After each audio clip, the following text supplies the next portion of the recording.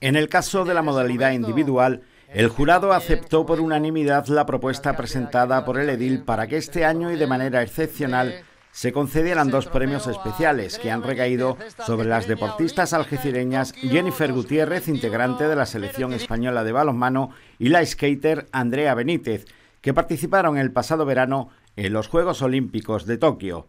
En lo que se refiere a los clubes, el jurado ha emitido su voto esta mañana y el recuento de los emitidos por la ciudadanía a través de Internet han dado al Algeciras Club de Fútbol como mejor entidad del pasado 2021. A pesar de no conseguir el ascenso a la Liga Smartbank, sí lo hicieron a la primera ref, convirtiéndose en un auténtico movimiento social que tuvo su punto álgido en el desplazamiento al Mendralejo. Además, este año se concedieron menciones especiales a Pedro Soria por su histórica vinculación al balonmano local.